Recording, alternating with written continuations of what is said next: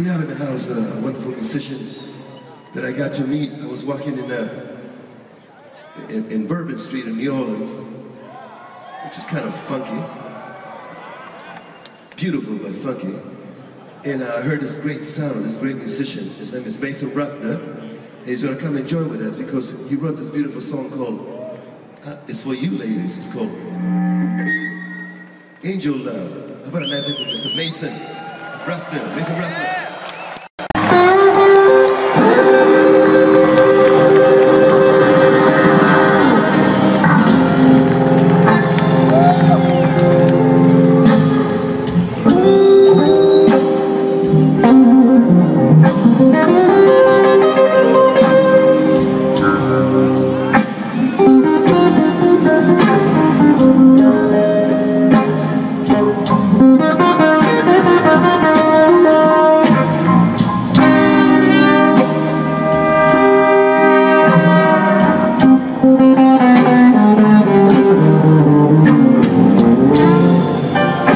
Thank you.